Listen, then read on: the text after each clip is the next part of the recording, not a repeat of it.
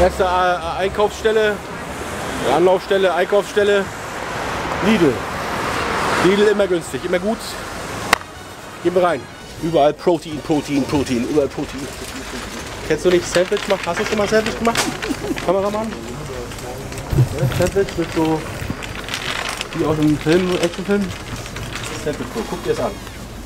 Ich nehme mal von unten, weil dann ist es äh, weicher. Desto wei also das ist genau schön, wenn es weich ist. Weißt du? Also im Gegensatz, im Gegensatz von Muskulatur. Ein Sandwich muss weich sein. Guck hier, ist schön weich. Sehr gut. Deutsche Strauchtomaten nenne ich Ella. Deutsche Strauchtomaten. Wunderschöne deutsche. deutsche Strauchtomaten hier. Guck dir an, die sehen gut aus hier. Jawohl.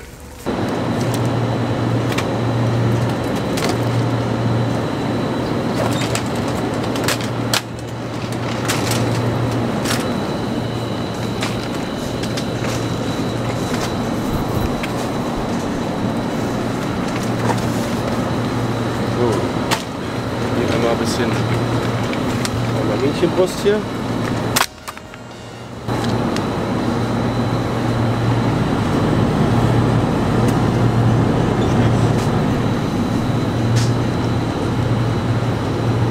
Ganz wenig Fett. Also hier geht's. Es gibt Mozzarella Light hier. Mozzarella Light auch nicht schlecht. 8 Gramm Fett. 8 Gramm Fett hat der ganz, ganze Spaß. Dann gibt es hier Skyrella beim Lidl, ist das mal nur weißes. Das ist Skyrella. Das hat 2,6 Gramm und 22 Gramm Eiweiß. Der schmeckt zwar wie Gummi, es fühlt sich auch an wie so eine ganz kleine Gummibrust, wie so eine Silikontitte bisschen. Aber schmeckt besser als der Silikon. Also wie gesagt, den nehmen wir jetzt für unsere Tomaten Mozzarella. Wir gleich zwei Stück, weil zwei Stück ist eine komplette Mahlzeit. Und dann nehmen wir noch für unser Miracoli hier solche Dinge. Das ist Miracoli, das ist Masse Miracoli. Dann mache ich das dann mal rein. Das ist egal, aber der ist schon schön geschnitten. Zwei Stück hier.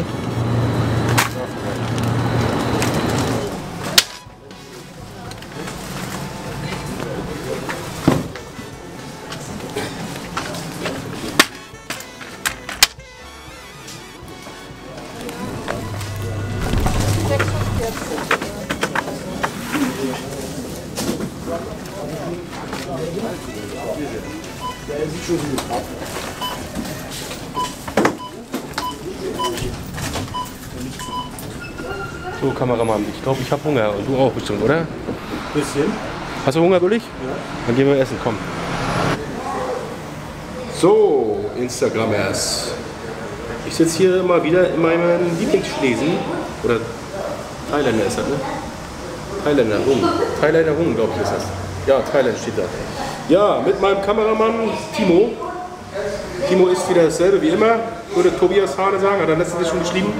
Er isst immer Nudeln mit gebackenem Hähnchenfleisch. Ich esse auch eigentlich immer dasselbe, ne, Pekingsuppe vorweg, dann einmal ein bisschen gebratenen Reis. Und dann esse ich ein bisschen äh, Saté-Hühnchen, also hier so eine Saté-Spieße, damit ich ein bisschen Protein noch habe, ein bisschen Reis und ein bisschen Erdnusssoße. Das macht mich glücklich und das macht massig. Hoffentlich. Pennymarkt, hier, Pennymarkt. Hier, Pennymarkt. Das ist der Pennymarkt. Da kann man gut einkaufen, Pennymarkt hier. Käse, Proteinkäse. Ah. Und hier, für die Weiber. Auf den Arsch schauen. So. Mit der Route vom Nikolaus kriegen. Äh, Rucola, Digga. Stell mal vor, du hast so einen Penis. So.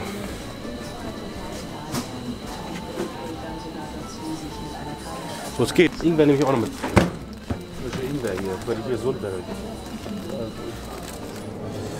So, einmal Pizza, Teig und Rest. Einmal Mülleimer hier. Also der funktioniert schon mal. Kann man machen. Kann man kaufen. Was hier Eiweiß hier. Guck mal hier, 25, der hält, der hält sich auch lange. 25.02. Ich gleich dreimal mit hier. Hier ist hart zerstinkender Tilse, wie, wie Käse. Hat klebt, äh, klebt, äh, der hat übelst Salz hier, guck mal. Und ihr mal die sieht hier die Nährwerte. Der ist zwar weniger Fett, also 0,5, aber der hat 3,7 Gramm Salz. Also der ist richtig Salz, der macht richtig Durst. Da kannst du gleich noch eine Flasche Wasser hinterher kaufen. Der hat hier 10 Gramm Fett. Also das ist das Gute hier an dem ist Fett 10 Gramm, Salz 1,8. So, dann haben wir hier nochmal einen anderen Leitkäse, der hat 17 Prozent. Also ist auch ein Leitkäse, 17 Prozent Fett. Da ist der, der ist schon am besten dann dafür. Also natürlich kann man jetzt auch den nehmen, aber dann schmeckt es auch wie Fuß sozusagen. Also wie, wie Käsefuß. Schmeckt so. Miracoli hier. Haben wir auch.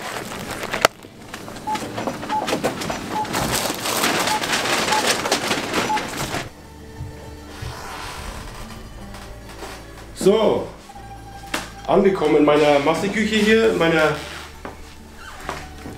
kleinen, aber feinen, bürgerlichen Hausküche.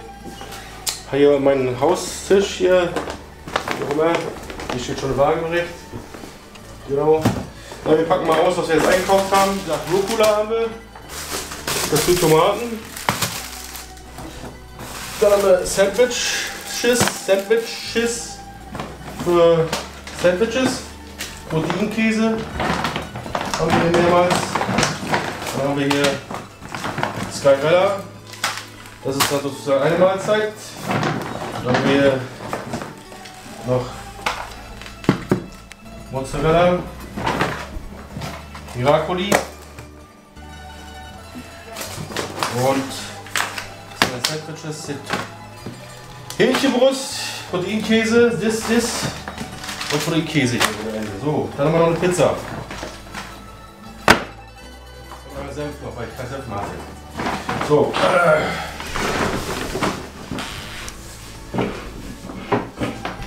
Jo, fangen wir an gleich hier.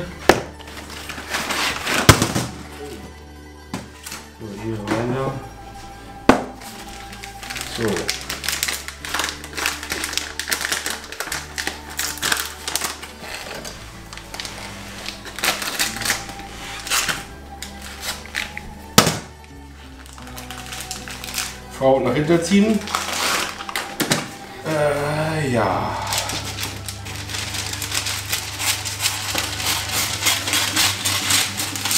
Gut.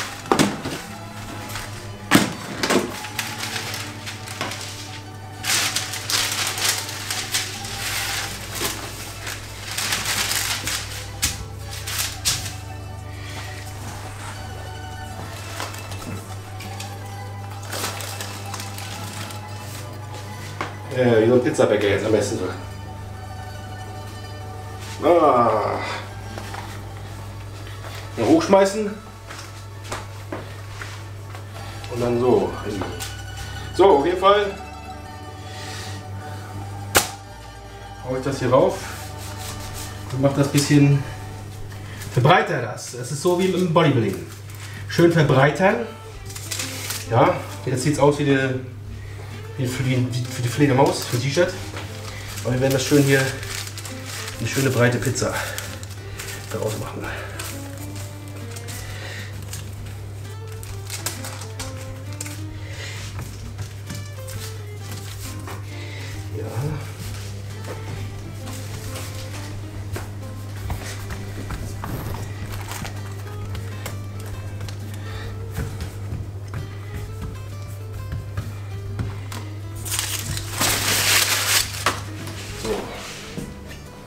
Perfekt.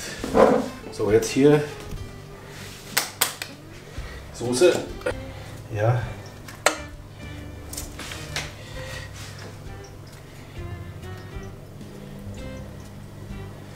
Genau. So.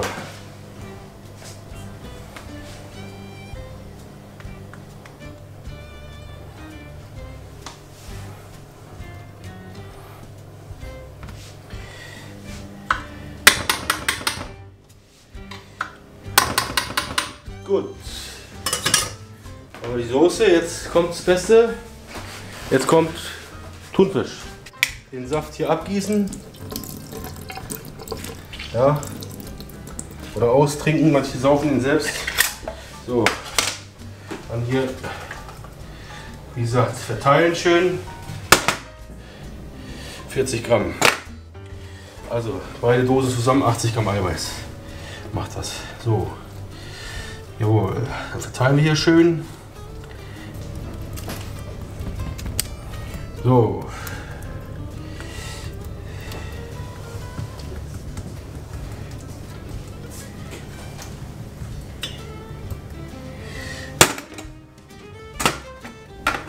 Wir zwischendurch schön sauber machen hier alles. Ja. Müll schmeißen. Jawohl. So. Auch so, das ist dann schon mal eine Komponente. Eine Eiweißkomponente haben wir schon mal. Jetzt machen wir hier noch Eiweißpulver drauf. Bisschen. Nein, Spaß. Habt ihr euch gedacht. Nee, wir könnten was anderes drauf machen. Das kann man doch so aufmachen. Gesundes hier. Aus meiner Ecke. Oder? Kann man darauf machen am besten. Ein Spiegelei, ein Ananasstücke. Ananasstücke passt nicht, da kann man Dings zumachen müssen. Ja Mensch, Haferflocken kann man drauf machen. So. Haferflocken machen wir drauf. Hier, komm. So. Immer ein bisschen Haferflocken drauf da. Damit das auch eine gesunde Pizza wird hier. Jawohl. So. Das sieht gut aus. So, jetzt kommt der Käse. Ihn.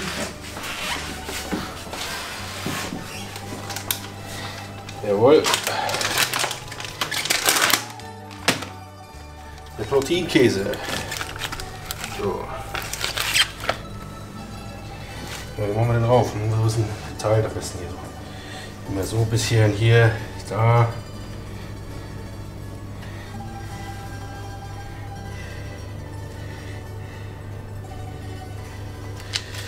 Zu viel. Jetzt zu viel Eiweiß daher. Eigentlich soll das für eine Person reichen. Oder man kann auch zwei. Jetzt kann man sagen, auch bei dem Eiweißgehalt nachher sind es zwei Personen. So, sieht das denn aus? Protein Haferflockenpizza.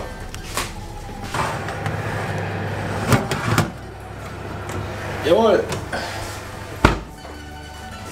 So. Das war das erste Gericht heute. War jetzt nichts Besonderes oder nichts Außergewöhnliches. Ja, ich wollte euch mal heute zeigen, wie gesagt, was ich sonst so mal mache. Weil ich mal nicht so Bock auf Hähnchen und Reis habe. Reis habe ich, wie gesagt, auch stehen. Hähnchen auch im Kühlschrank, Eier, sonst auch immer dasselbe alles hier.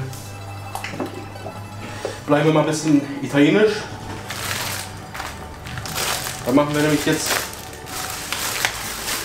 was Feines hier. Für euch zu Hause. Es noch nicht kennt, vielleicht gibt es den einen oder anderen. Nehmen wir ein schönes Tellerchen, scharfes Messer. Sehr scharf. So. Da schneide ich hier schöne Tomatenstücke.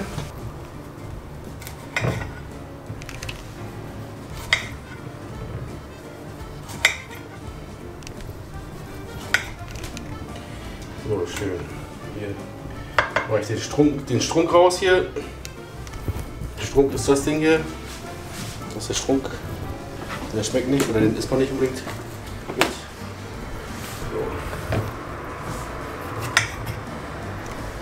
Hier auch wieder den Strunken raus. So, das müsste Reike entscheiden. Erstmals, erstmals so. Haben wir hier frischen Rucola, intensiv und würzig. Den verwenden wir dann. So. Andere waschen den auch ab, aber ich wasche den ungern ab, weil dann ist er matschig. Also ich erst so, bin da mehr so der Fan, dass ich ihn einfach so, wie gesagt, hier verteile dann schön.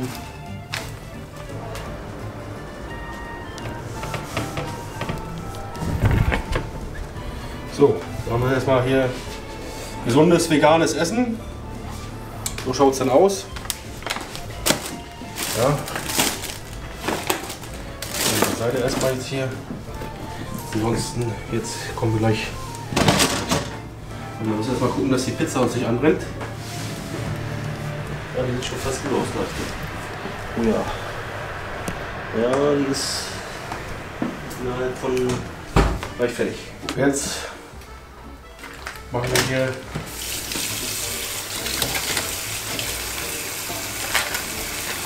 den Skyrella fertig. Und wasche den ab immer. Und dann stelle ich mir den zurecht hier schön.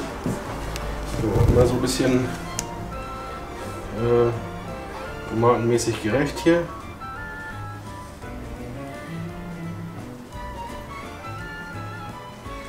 Bisschen schön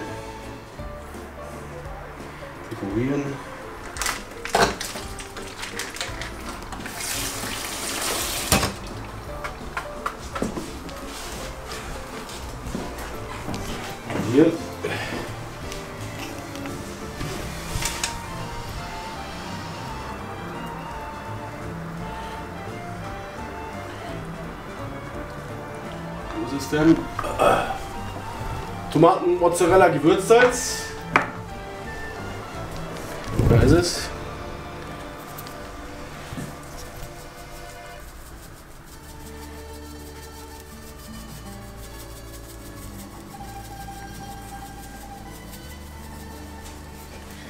So. Bisschen Pfeffer aus der Mühle hier.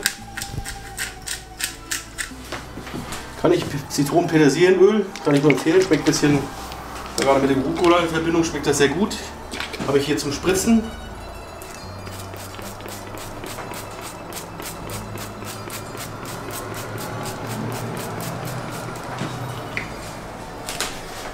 So, dann macht man noch so italienische Art bisschen Olivenöl dazu. Ja. So, da kleckern wir hier schön rüber.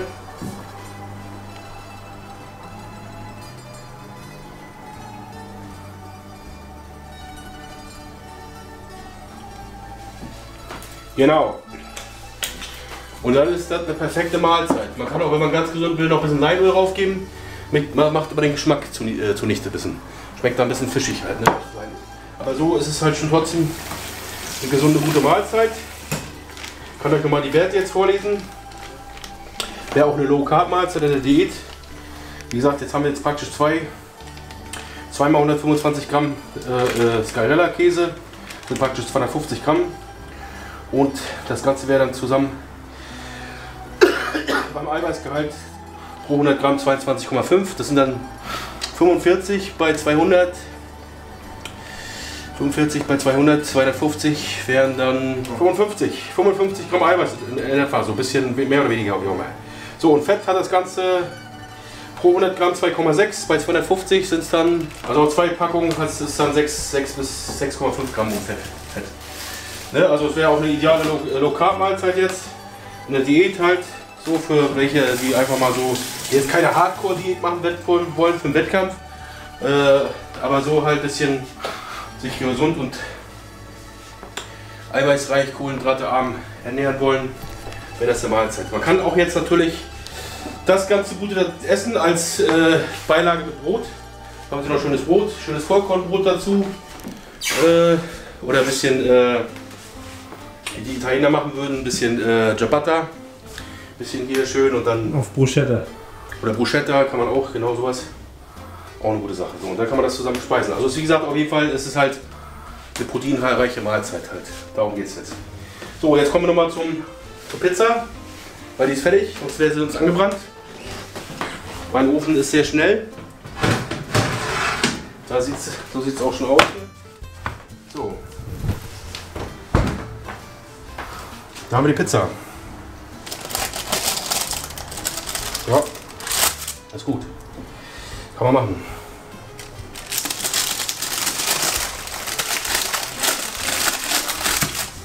Und dann ist sozusagen eine Hälfte